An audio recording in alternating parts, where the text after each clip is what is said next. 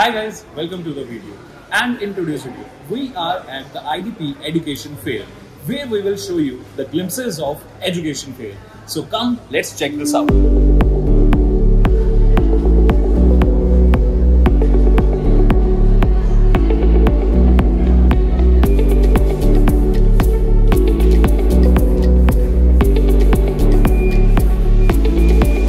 After coming in, first step, what you have to do?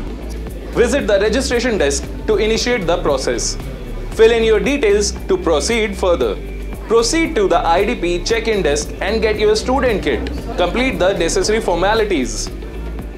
Head to the destination counseling desk. You will find separate desk for each of the destination counseling.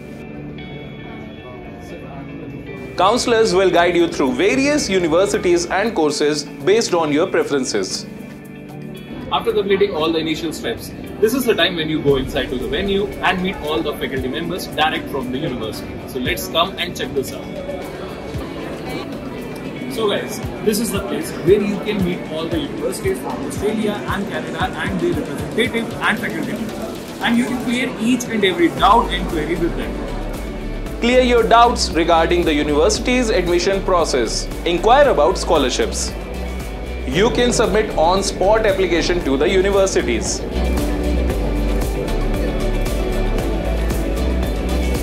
Visit the IDP SES desk for additional support and services. Here, you can inquire about accommodation services, SIM card services, healthcare services, education loan services, and much more, specifically provided for international students. Feel free to ask any questions and clear your doubts at any of the above desks. The IDP staff is there to assist you throughout the process. So guys, this is how IDP Education Fair look like.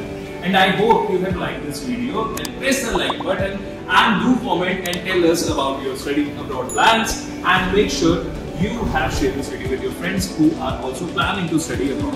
And if you have not subscribed our channel, then do press the subscribe button and subscribe it now. For all the latest updates, do follow us on our social media handles regarding study abroad and IDP.